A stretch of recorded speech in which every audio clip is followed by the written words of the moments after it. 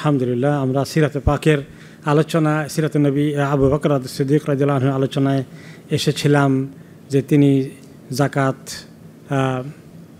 দিতে অস্বীকারী এবং মিথ্যা নবীদের দাবিদার যারা ছিল তাদের সবার সঙ্গে তিনি মোকাবিলা করেছেন, যুদ্ধ করেছেন। সাহাবিরা একটু সময় দিতে বললেও তিনি দেরি করেননি কারণ ফেতনা বেড়ে যাবে বিধায়। তিনি বেশ কয়েকটি অভিযান চালান। তার মধ্যে ইয়ামানে এবং অন্যান্য এলাকায় এগুলা মোটামুটি কন্ট্রোলে চলে আসে। যারা মিথ্যানবী দাবিদার, কেউ কেউ পালিয়ে যায়, কেউ কেউ আত্মসমর্পণ করে, কেউ কেউ পরে আবার বুঝতে পারে ভুল, তারা আবার ইসলামের দিকে আসে এবং জাকাত দিতে অস্বীকারীরা অনেকেই জাকাত দেওয়া শুরু করে। কিন্তু সবচেয়ে বড় ফিতনা যেটা ছিল, সেটা এখনও রয়ে গেছে। সেটা হচ্ছে মুসাইলেমা আল কাজাব বনু হানিফা যেটা নাজদ এলাকায়, বর্তমান রিয়াদ অঞ্চলের কাছাকাছি এলাকায় এদের এদের যে গোষ্ঠীটা ছিল বিশাল গোষ্ঠী, বড়, অনেক বড় জনশক্তি তাদের আছে। এদেরকে বলা হয় বনু হানিফা। বনু হানিফার মধ্যে একজন লোক ছিল, তার নাম ছিল মুসাই, মুসাইলামা এবিন সুমামা। মুসাইলামা এবেন সুমামা। এবং এই লোকটি মোতানাব্বে নবীর দাবি করেছিল, ওকে? এবং সেই ব্যক্তি আসলে যেখানে তার জন্ম হয়, সেটা নজ প্রদেশের পাশে আল ওয়াইনা একটা শহর বর্তমানে সৌদি আরবে আছে। যে সিটি অফ আল ওয়াইনা, ওইখানেই তার জন্ম হয়েছিল। এ পুরো এলাকাটা পুরো প্রদেশ অঞ্চল জুড়ে এলাকার নাম ছিল বনু হানিফার গোষ্ঠী, ওকে এবং এখানে বলা হয় ওয়াদি হানিফা।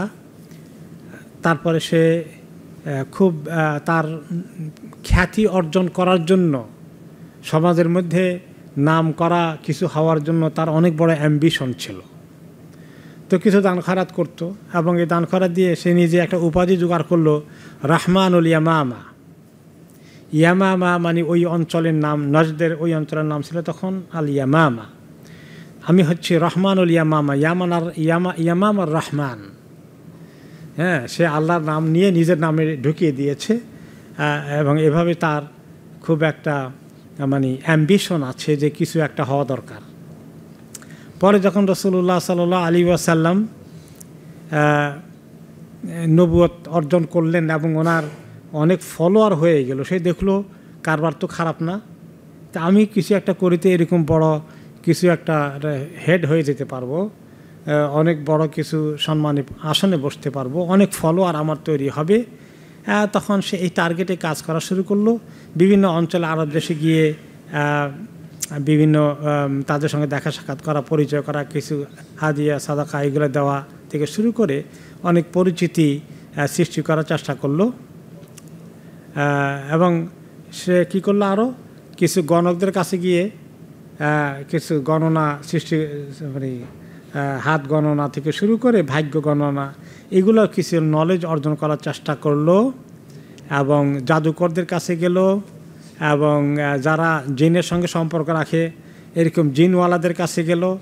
বহু রকমের তদবির এবং ট্রেনিং নিয়ে সে আবার কিছু ছড়ার আকারে কাব্য চর্চা করা, এগুলোও কিছু চেষ্টা করল যে তার, দেখছেন যে নবী করিম সাল্লা আলসালামের এত ফলোয়ার হয়ে গেছে, কোরআন দিয়ে সবাইকে তিনি কনভিন্স করছেন। তো কোরআনের এইগুলো কিছু কবি টবি কিছু মুখস্থ করে যেগুলো যে সমস্ত সুরার মধ্যে ছোট ছোট ছন্দের মতো আছে না কিছু সুরা? হ্যাঁ? হ্যাঁ যেমন অসামাই ও তারেক তারপরে এভাবে করে আপনার সুর দেওয়া এবং ছড়ার মতো করে করে আসে। এগুলা এই লাইনে কিছু তৈরি করা যায় কি না এটার জন্য সে কিছু নিজে প্রচেষ্টা চালালো। এভাবে করে করে তার এক পর্যায়ে সে নব্বত দাবি করেছিল। তো নবীয় দাবি করার আগে সে কিছু লোককে পাঠিয়েছিল মক্কা মদিনায় বিশেষ করে মদিনায় যে কিছু সুরাটুরা নিয়ে আসা আমার জন্য। সেগুলাকে সুরাটুরা শুনো টেনে এগুলো লাইনে গবেষণা করে করে করে করে এরকম আরবি দিয়ে কিছু বানানো যায় কি না খুব চেষ্টা, প্রচেষ্টা চালালো। ওকে তারপরে এক পর্যায়ে যখন রসুল্লাহ সাল্লাম হিজরি নবম সনে তিনি যখন মক্কায় ছিলেন মক্কা বিজয় বিজয় হয়ে গেল। মক্কা বিজয়ের পরে তিনি যখন মদিনায় আসলেন ওই সময় বনু হানিফার একটি প্রতিনিধি দল মদিনায় আসলো। ওনার সঙ্গে আলাপ আলোচনা করে তারা ইসলাম কবুল করবে, ইসলামকে শিখবে। এই নিয়তে এক দল বনু হানিফা, মুসাল্লামা, কাদ্দাবের গোষ্ঠীর লোকেরাও এসেছিল। এবং মুসাল্লামাও কোনো কোনো রেওয়ায়েতে সেও এসেছিল, কিন্তু সে নিজেকে নিজের চেহারাকে ঢেকে রাখতে, পিছনে পিছনে থাকতো, যেন রসুল উল্লাহ সাল্লাহ আলসালামকে সামনাসামনি না হতে পারে। এভাবে করে সে নিজে অবজার্ভ করল যে কী কী কায়দা করে মোহাম্মদ লোদেরকে দল পাকিয়েছে। এগুলো টেকনিক নেওয়া এবং সে এগুলোকে কপি করে করে নিজেও দল পাকাবে। এই তার মাথায় এই বুদ্ধি। এরপরে তিনি তাদেরকে কিছু হাদিয়া তোহফা দিয়ে বিদায় করে দিলেন। এরপরে কোনো কোনো রেওয়ায়তে আসে তিনি চিঠি লিখেছেন। কোনো রেওয়ায়ত আসে সে ওখানে পরে নিজের পরিচয় প্রকাশ করেছেন। বলেছেন যে দুইটা কাজ করেন। একটা হলো যে, এখানে এমনি আপনি থাকা অবস্থায় আপনার সঙ্গে আমার, এই যে, ক্ষমতার একটু ভাগাভাগি করি আমরা। যে, আপনি একটু স্বীকৃতি দেন আমাকে যে, আমি আপনার ক্ষমতার কিছু অংশীদার হব। আর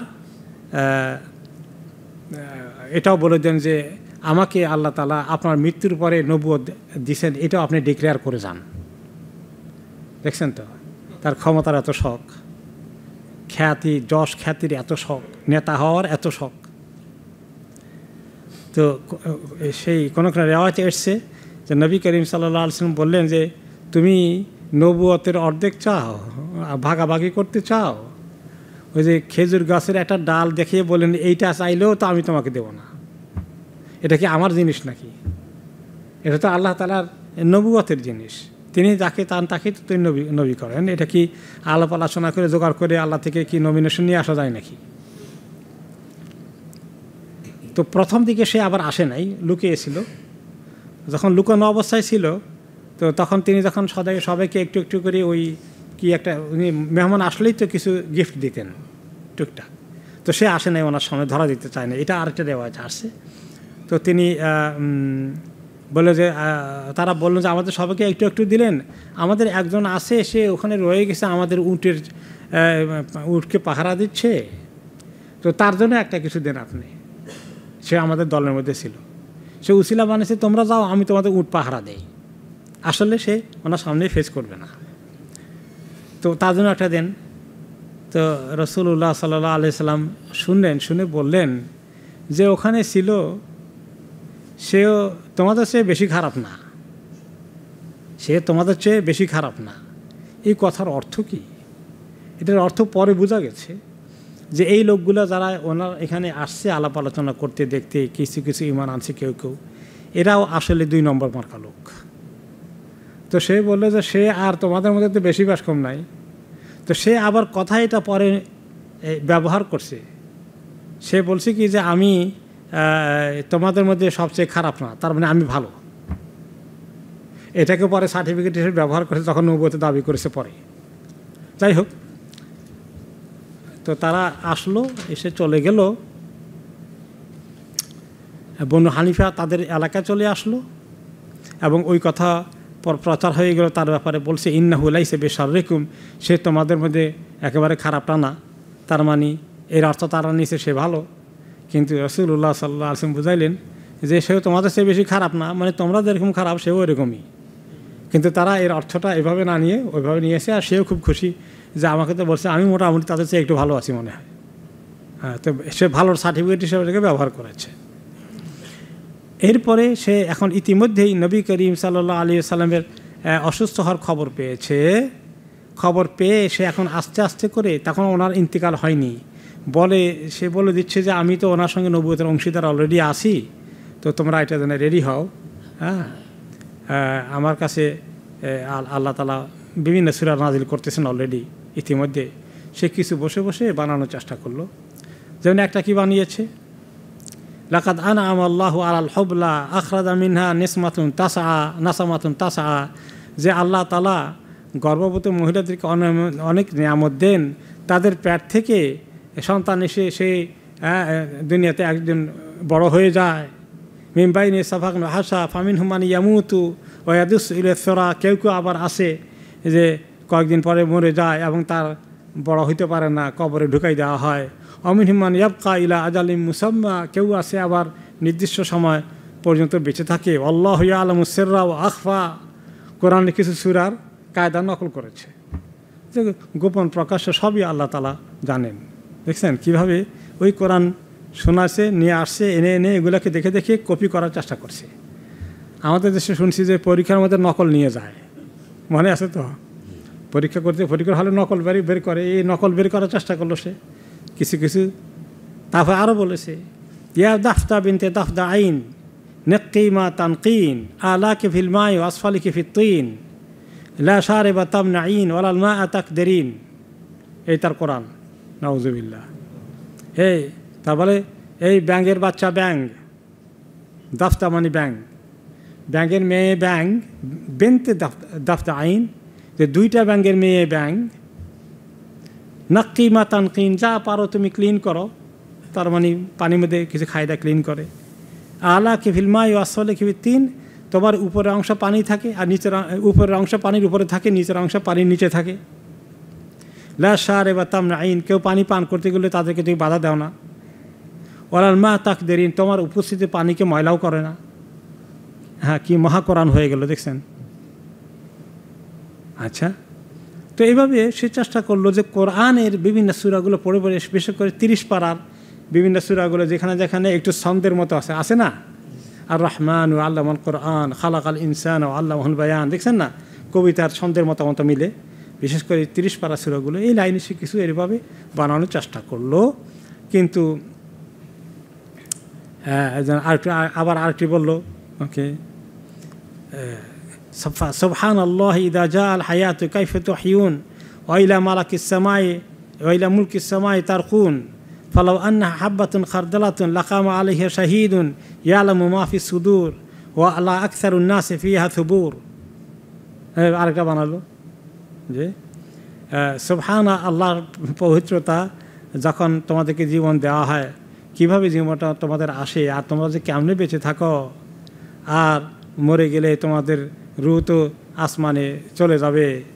ওকে যদি কোনো একটি ছোট্ট সরিষার দানা পরিমাণ কোনো কিছু থাকে, সেটাও তোমাদের জীবনে ঘটে, এটাও সাক্ষী দেবে। আর সে আল্লাহ তোমাদের অন্তরে কি আছে জানেন? ইয়া আলম মাহফি সুদু মাহফি সুদুর এ তো কোরআনের আয়াতকে কপি করছে, নকল করছে, কোট করেছে। আর ওলা আকসার নাথে ফি হাসবুর আর পৃথিবীর অধিকাংশ মানুষটি ইতিমধ্যেই কবরে চলে গেছে। এই কথা। তো এবার এইভাবে বলতে বলতে কেউ কেউ ইসলামে মানে ইসলামে প্রবেশ করার আগেই সে এগুলো শুরু করেছে। ইসলাম মানে প্রবেশ তো করল এক সময় নামকাও আসছে, কিন্তু তার আগে থেকে সে তার এই প্রসেসটা চালিয়েছে। ওকে তো একবার সাহাবি আমরা আসরাদি আল্লাহ আনহু, তখনও তিনি ইসলাম কবুল করেননি, যিনি অনেক বড় সেনাপতি ছিলেন। উনি কিন্তু ইসলাম কবুল করেছেন একটু লেটার স্টেজে তো তার সঙ্গে দেখা হয়ে গেল মোসালেম আল কাদাব তো তখনও আমরা আস কাফের। তিনি মোসালেমা কাদাব সে নাম করা তার ইতিমধ্যে তার অনেক সুনাম কিছু করে ফেলেছে। বিভিন্ন কবিরা ঘুরে ঘুরে বক্তৃতা টক্তৃতা এগুলো করে, তার কবিতা শোনায় আর বলে কোরআন। তো বললেন যে আমরা আজ তখনও কাফের, তিনি বললেন, মোসাল্লামা, তোমার এই যে মোহাম্মদের প্রতি কোরআন নাজিল হয়েছে এটা তোমার কাছে এই ব্যাপারে তোমার মন্তব্য কি? তুমি এই ব্যাপারে কি বলতে চাও? ফকল আল্লাহ আমার ইন আল্লাহ আনজাল আলহি সুরাত আসর। ওকে? ওকে, না, বরঞ্চ মুসাইলামাকে জিজ্ঞাসা করেছে, মুসাইলামা জিজ্ঞাসা করেছিল আমর আজকে যে তোমাদের এই যে নবী মোহাম্মদ বলে একজন তোমাদের কোরআশ বংশ এসেছে, তার ব্যাপারে তোমার কিছু জানার জানার সুযোগ হয়েছে, কি মনে করো তুমি? তখনও আমরা আস ইসলাম কবুল করেন নাই, কিন্তু ইতিমধ্যে ওনার মধ্যে কিছু পরিবর্তনের লক্ষণ অলরেডি আছে। তিনি বললেন, শুনছি ইন আল্লাহ আনজাল আলহি সুরাত আসর। ওনার কাছে আল্লাহ তালা আসর, সুরা সুরা আসর নাজিল করেছেন। সুরা আসর তো আমাদের সবারই মুখস্থ আছে। আল্লাহ আসর ইন আল ইনসান খসর ইল্লাদিন আমন অমন সরি হাত অতাওয়া সাবিল হাক্কে অতাওয়া সাবিল সবর। তো এটা উনি তাকে বললেন, এইরকম একটা সুরা নাকি তার উপরে নাজিল হয়েছে? তো মুসালাম বলে ওকাদ আনজাল্লাহ আলাইয়া মিথলাহা। ও আমার উপরে তো এরকম একটা নাজিল হয়েছে। প্রায় কাছাকাছি। বলে, কি নাজিল হয়েছে আমার প্রতি ইয়া আবার ইয়া আবার ইন্নামা আন্তা উদনান ও সদর ও সাইর হাফিন নাকার। আবার একটা প্রাণী মরুভূমিতে থাকে। এ আবার হে আবার হ্যাঁ তোমার তো দুইটা কান অনেক লম্বা। আর তোমার বুকটা অনেক প্রশস্ত। আর তোমার হ্যাঁ তুমি তো থাকো, গর্তের মধ্যে তোমার দিন রাত কাটাও, এরকম। তো এই, এইগুলা যখন সে শোনাই দিল আমর এমনি আজকে আমর এমনি আজ তখনও মুসলিম না, তিনি তিনি মন্তব্য করলেন, আল্লাহ ইন্নাকা তা আলম আন্নি আলম আন্নাকা তাকি দিব বলে যে মশালে আমার তুমি তো ভালো করেই জানো। আমি তোমাকে ভালো করেই জানি, তুমি মিথ্যাবাদী।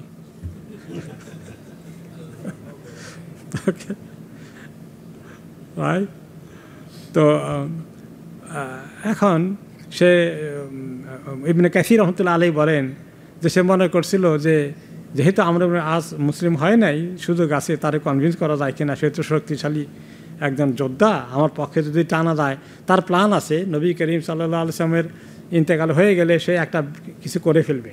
বিশাল প্ল্যান নিয়ে তো বসে আছে মাস্টার প্ল্যান তো মনে করল, একে যদি আমার দলে ভিড়ানো যায়, মন্দ কি? আগে থেকে একটা বড় সেনাপতি পেয়ে যাব। তিনি বলেন যে, তুমি যে কথা মিথ্যাবাদী, তুমি ভালো করেই জানো যে আমি তোমাকে চিনছি, তুমি একটা মিথ্যাবাদী। হুম? যাই হোক। এরপরে আমরা যাই যে, এখন মুসাইলামা এবারে তার হিম্মত আরও বেড়ে গেল, কারণ রসুল্লাহ সাল্লাহ আলি সাল্লাম ইতিমধ্যেই অসুস্থ হয়ে পড়েছেন সে খবর পেয়ে গেছে। এই তো আমার সুযোগ। এখন সে চিঠি লিখে পাঠালো, ওকে?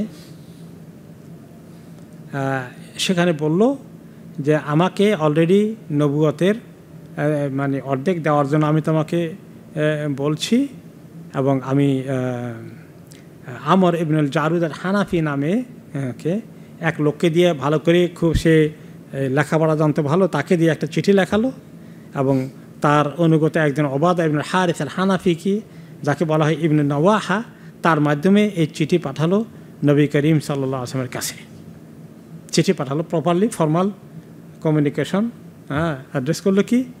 মিন মুসাইলামা রাসুলিল্লাহ যে আল্লাহ রসুল মুসাল্লামার পক্ষ থেকে ইলা মোহাম্মদ রাসুলিল্লাহ, মোহাম্মদ আল্লাহ রসুলের কাছে। নিজে স্বঘোষিত রসুল হয়ে গেছে এখন। ওকে? আমাবাদ ওনার কপি, কথাকে কপি করে। উনি যেভাবে রসুল্লাহ সাল্লাম বলেন সেভাবে। ফাইন আল্লাহ নিসফুল আরদ অলে কোরাইশ নেসফুহা শোনো আমরা বনু হানিফার লোক শক্তিশালী কম না কোরাইশ থেকে। তুমি তো কোরাইশদের রিপ্রেজেন্ট করো। তো আমাদের এই বনু হানিফার গোষ্ঠীর হলো অর্ধেক। তোমার যে সাম্রাজ্য তুমি জোগাড় করেছ, এটার অর্ধেক আমাদের। আর অর্ধেক কোরাইশ বংশের তুমি নেতৃত্ব করছ ফাইন নো প্রবলেম তোমার অর্ধেক, আমার অর্ধেক। ওলা কিনা কোরাইশ লাইনসিফুন তবে আমি জানি কোরাইশরা ইনসাফ করে না। তারা পুরোটাই নিয়ে যায়। রসুল্লাহ সাল্লাহ আসলামকে এভাবেই সে ইঙ্গিত করছে। তো রাইট নবী করিম সাল্লাহ আলী সাল্লাম তার এই চিঠির উত্তর লিখলেন। উবাই ইবনে কাব রাজি আল্লাহ আনহু, যিনি সাহাবিদের মধ্যে লেখাপড়া জানতেন ভালো ভালো কারি, ওনাকে দিয়ে চিঠি লেখালেন। তিনি লিখলেন চিঠির মধ্যে বিসমিল্লাহ রহমান রহিম, মিন মোহাম্মদ আন নবী ইলা মুসাইলাম আল কাজাব যে মোহাম্মদ আল্লাহ নবীর পক্ষ থেকে মিথ্যাবাদী মুসাইলামার কাছে। বড় মিথ্যাবাদী মোসাই আমার কাছে। আম্মাবাদ অতপর, ফাইনাল আরদালিল্লাহ ইউরিফুহামাইয়া শাহ উমিন এবাদি এই জমিনটি আল্লাহর। তিনি যাকে চান, এর ওয়ারিশ বানিয়ে দেন, তার বন্দাদের মধ্য থেকে যাকে তিনি দায়িত্ব দেন চুজ করেন, তাকে তিনি এর ওয়ারিশ বানান। ওয়াল আকেবাতুলিল মুত্তাকিন। আর শেষ পরিণতি, ভালো পরিণতি শুধু মোত্তাকিদের জন্যই আল্লাহ বরাদ্দ করবেন। ওয়াসালাম আলামান ইত্তাবাল হুদা। আর যে ব্যক্তি আল্লাহর হেদায়তকে অনুসরণ করে, তার প্রতি সালাম থাকল। মানে তোমার প্রতি সালাম না। তুমি যে হেদায়ত কবুল করো আল্লাহ, তাহলে সালাম আছে তোমার জন্যে। আর না হলে তোমার কপালে সালামও নাই। চিঠি লিখে শেষ করে দিলেন। তো মুসাইলামা দুইজনকে দিয়ে পাঠিয়েছিল চিঠি, এবং সেই চিঠিতে যখন ওই লিখেছিল যে, মিন মুসাইলামা আল মিন মুসাইলামা রাসুলিল্লাহ ইলা মোহাম্মদ রাসুলিল্লাহ, ওই চিঠি সে যখন লিখেছিল, দুইজন লোককে দিয়ে পাঠিয়েছিল তারা দুইজন কে যখন নবী করিম সাল্লা আসলাম চিঠি রিসিভ করলেন মোসাইলামার রিসিভ করে জিজ্ঞেস করলেন, এই যে মোসাইলামার চিঠি নিয়ে আসছো তোমরা? ওয়ামাদা তাকুলানি আন্তুমা? তার ব্যাপারে তোমাদের দুইজনের কি বলতে চাও? তোমাদের ধারণা কি? তোমাদের ইয়াকিন কি তার বিষয়ে? ফাকলা নাকুল কামা কল যে সে যাটা বলছে ওইটাই আমরা ওই কথাই বিশ্বাসী। তারাও তাকে আল্লাহ রসুল বলে বিশ্বাস করে নিয়েছে।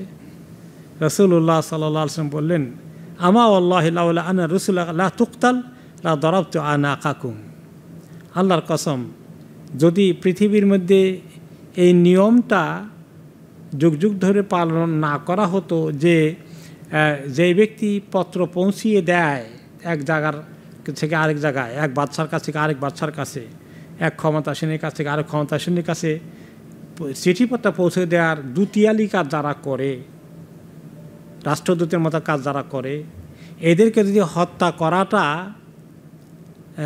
বড় অপরাধ হিসাবে পরিগণিত না হতো, তাহলে আমি তোমাদের দুইজনকে হত্যা করে ফেলতাম। কিন্তু পৃথিবীর নর্মাল যুগ যুগ ধরে চলে আসছে যে যারা দুতিয়ালির কাজ করে পত্র বাহক আছে, তাদেরকে হত্যা করা ঠিক নয়। জালিমের কাছ থেকে অন্যায়কারীর কাছ থেকেও যে পত্র নিয়ে আসে, পত্রবাহককে হত্যা করা ঠিক নয়। এটা তিনি রেসপেক্ট করলেন, বললেন, যাও, ছেড়ে দিলাম, তোমাদেরকে আমি হত্যা করলাম না। নতুবা তোমরা তার প্রতি ইমান এনে যে কথা বলেছ, এই কথা হত্যার দাবি রাখে। এরপরে নবী করিম সাল্লাহ আলি সাল্লাম ওই যে চিঠি পাঠিয়েছিলেন, চিঠি তা কাকে দিয়ে পাঠালেন তিনি? তিনি ওনার নিজস্ব এক বিশ্বস্ত সাহাবি হাবিব নিজাইদ আনসারি রাজিয়াল্লাহ আনহু থেকে দিয়ে ওনার মাধ্যমে চিঠি পাঠালেন। সেখানে তিনি যেটা লিখেছিলেন যে ওই কথাই যেটা একটু আগে পড়ে গেলাম, তারপরে মোসাইলামা ওনাকে আল কাজাব জিজ্ঞেস করল ওই সাহাবিকে, হাবিব নিজাইল আনসারিকে যে তুমি এত সাদু আনা মোহাম্মদ রাসুল্লাহ তুমি কি বিশ্বাস করো যে মোহাম্মদ আল্লাহ রাসুল? সাহাবি হাবিব নিজাইল আনসারি বলেন, অবশ্যই বিশ্বাস করি। নাম ফয়াকুল্লাহু আতাসাদু আন্নি রাসুল্লাহ আর আমি যে আল্লাহ রাসুল, এটা কি বিশ্বাস করো? মুসাইলামা বলতেছে আল কাদাব ফয়াকুল আনা আসামুল্লাহ আসমা। তুমি কি বলো, আমি তো শুনি না। এটা আমার কানে ঢুকে না, তুমি কি বলতেছো এটা? ফাফা আলাদা আলিকা মেরা আরান আবার জিজ্ঞাসা করে, আবার তিনি একই উত্তর দেন। আর প্রত্যেকবার প্রশ্ন করে যখন তিনি ওই উত্তর দেন, সে তার একটা একটা, ওনার একটা একটা অঙ্গ কাটতেছে। হাত কাটতেছে, পাও কাটতেছে, নাক কাটতেছে। তিনি একই উত্তর দিচ্ছেন, লা আসমা, তোমার এই কথা আমি শুনিও না। এভাবে তিনি সেখানে শাহাদাত অর্জন করলেন।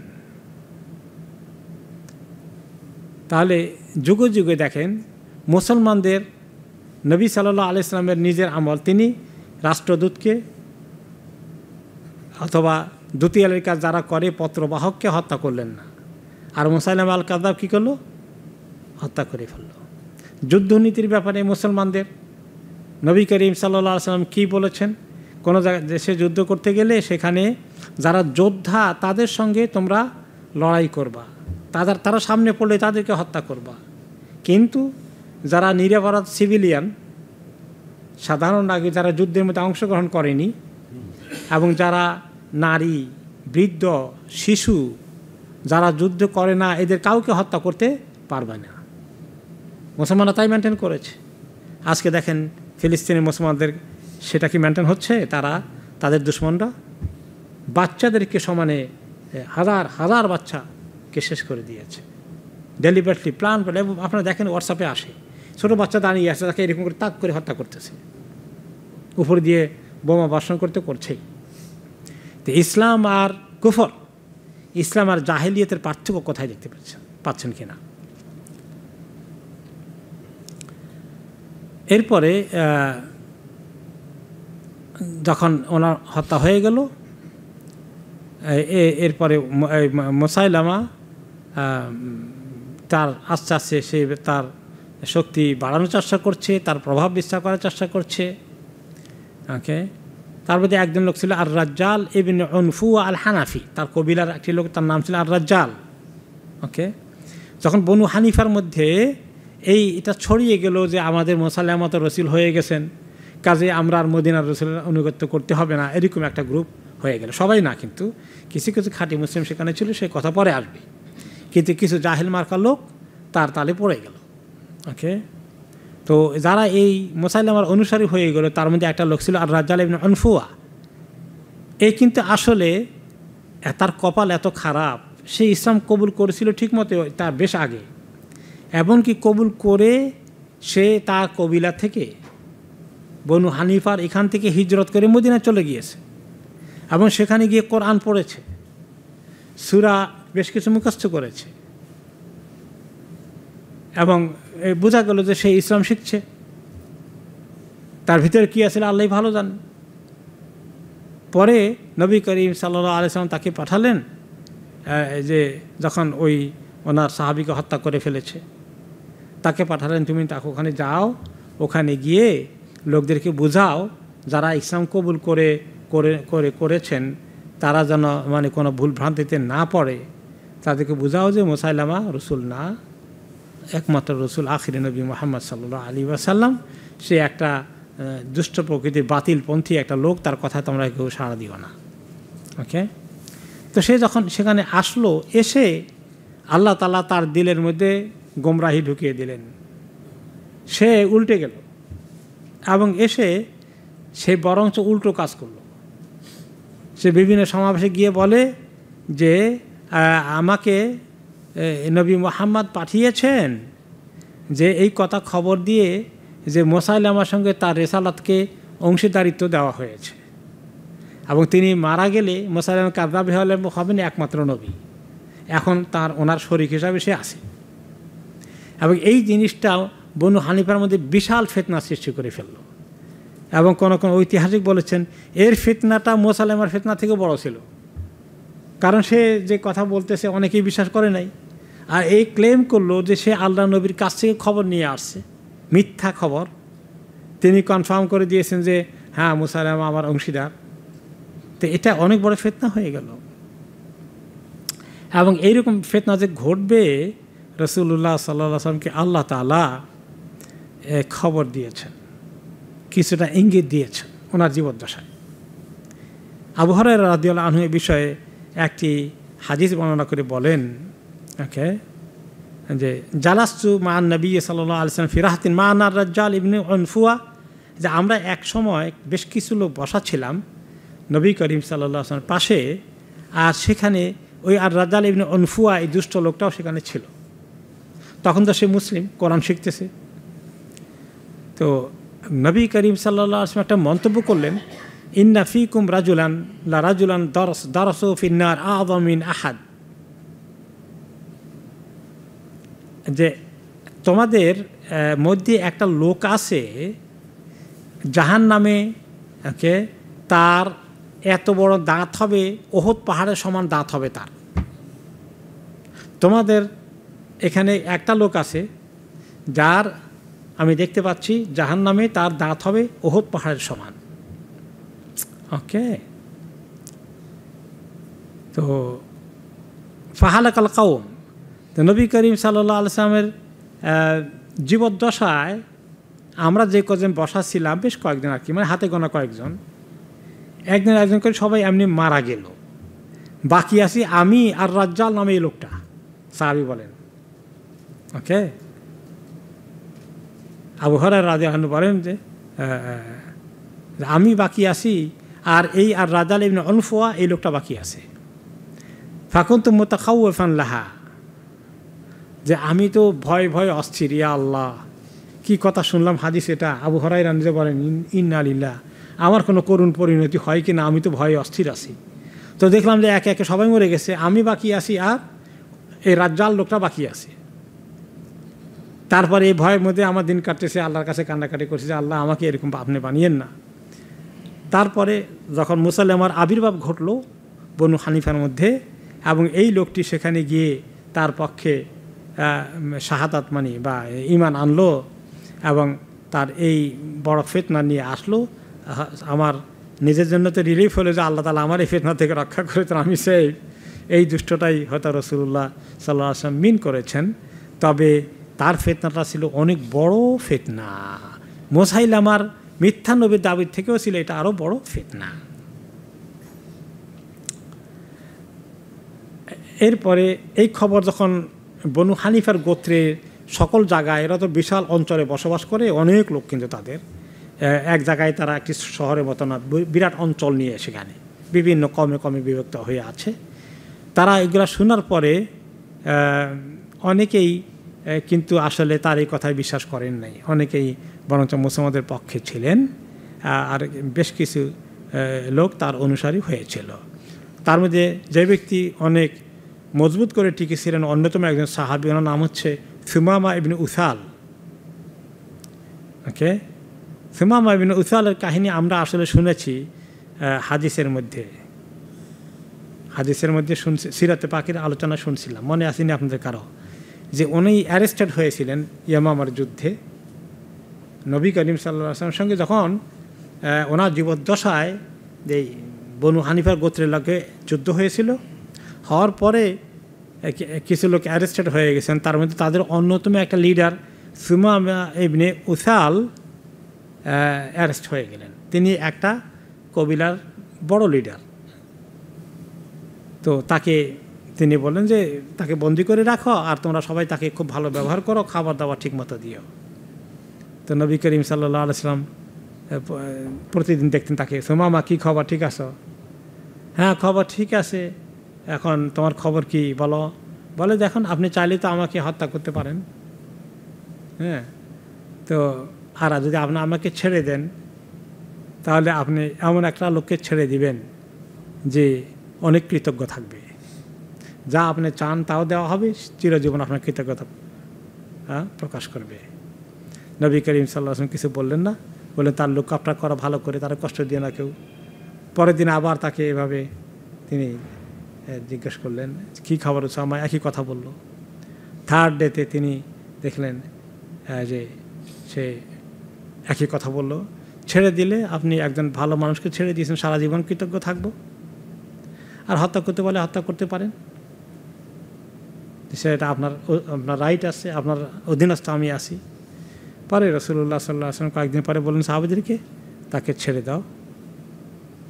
তাকে তার এলাকায় চলে যেতে দাও।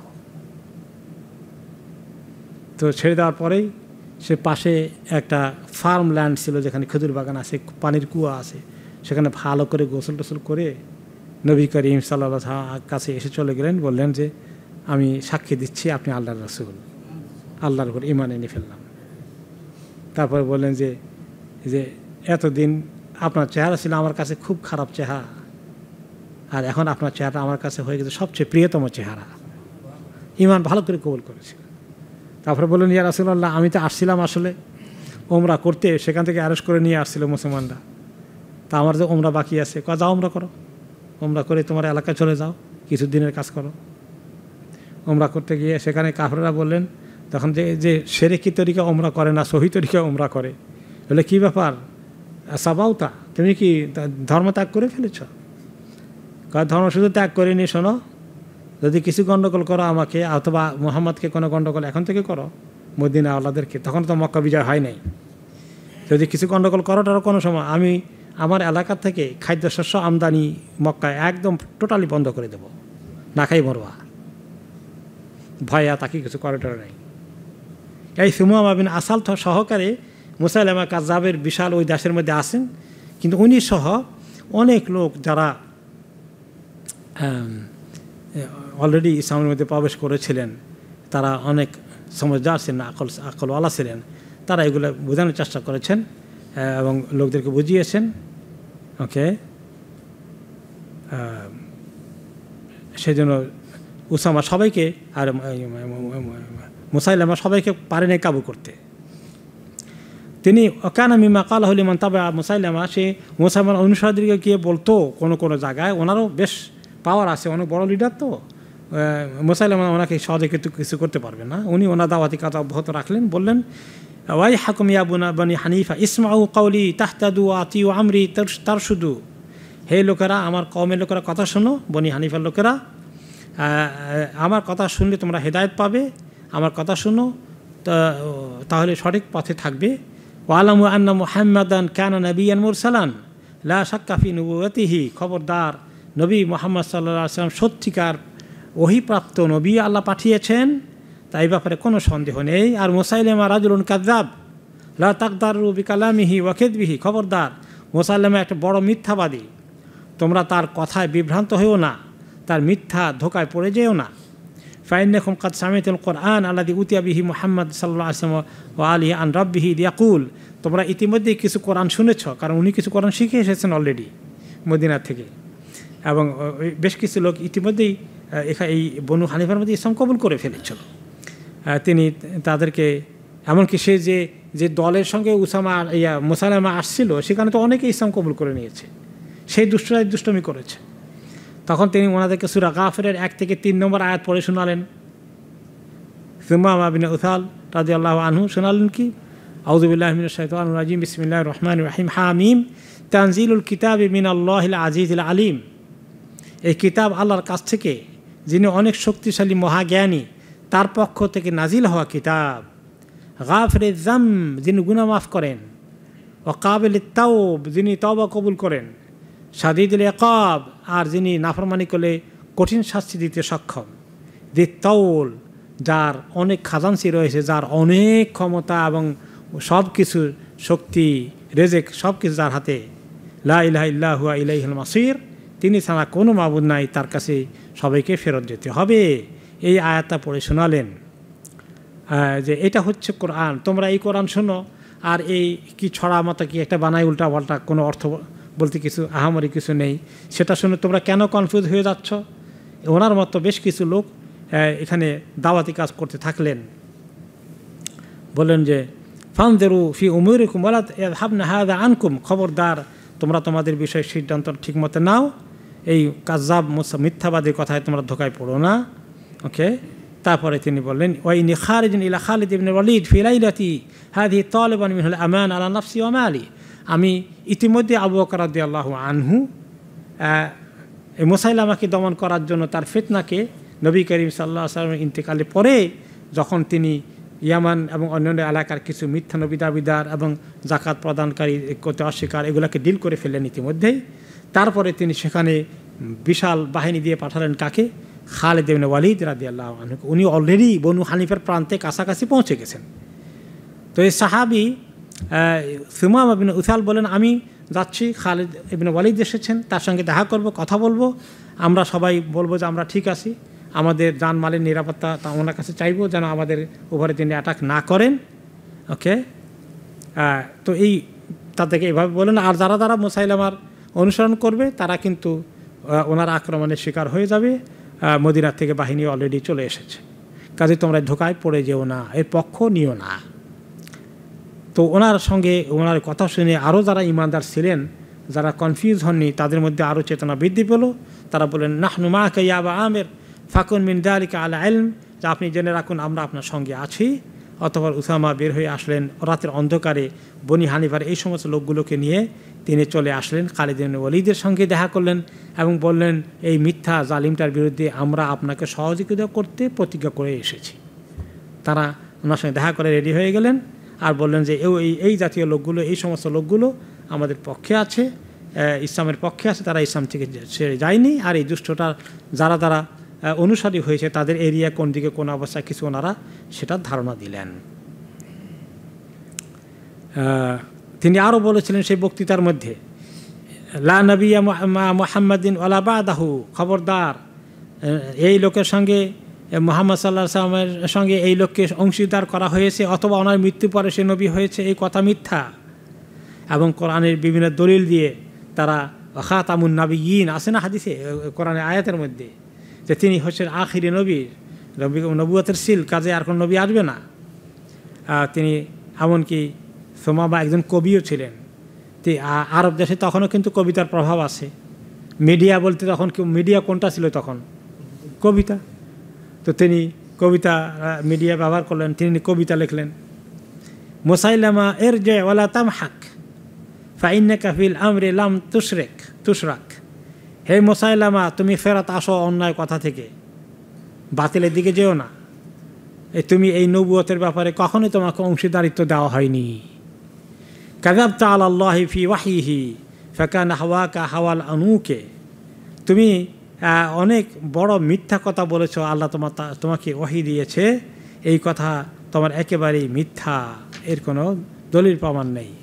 ও মান্নাকা কাউমুকা আন্নাউকা ওয়াইয়াতিহিম খালিদুন তুতরাকি। তুমি মনে করেছ যে তোমার কওমের বিশাল জনগোষ্ঠী তুমি পটিয়ে ফেলেছো, তোমাকে সঙ্গ দেবে। খালেদ আসছে হ্যাঁ তখন দেখবে খালেদের বাহিনী দেখলে তোমার সাঙ্গ সাঙ্গপাঙ্গরা অনেকেই পালিয়ে ছেড়ে চলে যাবে তোমাকে। ফেমা আলাকা মিন মাস আদিন ফিসামা ওলা আলাকা ফিল আর্দি মিন মাসলাকি। তখন তুমি কি করবে? খালেদ ইবনে ওয়ালিদের বাহিনী মোকাবিলা করতে না পেরে আসমানের দিকে উঠে পালাবে, নাকি জমিন খুঁড়ে নিচে গিয়ে তুমি পালিয়ে থাকবে? কোথায় তোমার জায়গা? হবে না।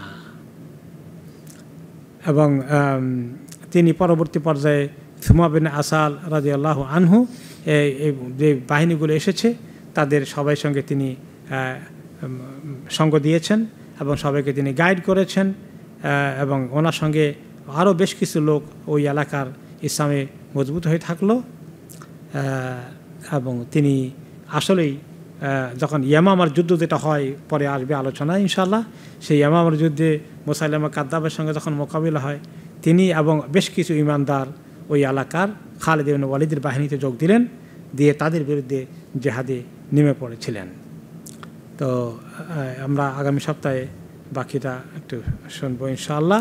ইয়ামামার যুদ্ধ কীভাবে শুরু হলো, খালেদ ওয়ালিদ কীভাবে এই মহা ষড়যন্ত্রকে নস্বাত করে দিলেন, আল্লাহ তালা তৌফিক দিলে আগামী সপ্তাহে শুনব ইনশাআল্লাহ। বিলাই তৌফিক। সুবহানাক আল্লাহুম্মা বিহামদিক, আশহাদু আল্লা ইলাহা ইল্লা আনতা, আস্তাগফিরুকা ওয়া আতুবু ইলাইক।